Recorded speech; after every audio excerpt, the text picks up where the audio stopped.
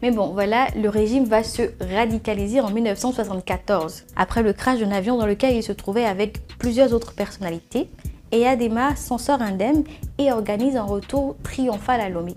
Puisqu'il pense qu'il a été victime d'un complot étranger, il passera de ville en ville pour le dénoncer. Au cours de ses années au pouvoir, il va démissionner de la tête du pays avant de revenir quelques jours plus tard. Et de 1979 à 2003, il sera réélu cinq fois. De 1990 à 93, le Togo a connu des moments très sombres. En octobre 90, le procès de quelques jeunes pour diffusion de tracts politiques va déclencher de violents mouvements populaires. Ces soulèvements conduiront à la conférence nationale en 91 et à l'adoption du multipartisme.